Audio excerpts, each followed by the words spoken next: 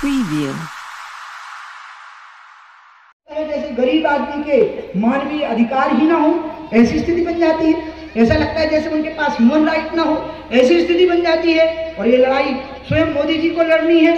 वो आत्मनिर्भर भारत की जब बात कह रहे हैं तो इसी के लिए कह रहे हैं। जनधन योजना उन्होंने इसी के लिए बनाई। बहुत सारी योजनाएँ उन्होंने इसी के लिए बनाई।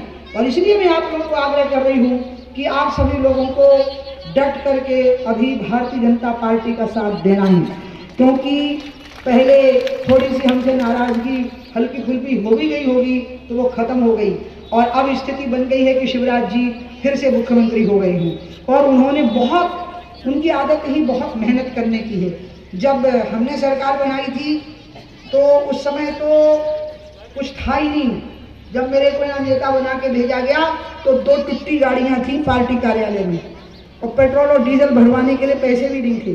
बिस्लरी की बोतलें छोड़ दो, नल का पानी पीते थे सब। कार्यकर्ताओं के घर में ही सोते थे और कार्यकर्ताओं के घर से ही भोजन आता था। बड़ी तपस्या से सरकार बनी थी। और अंत में तो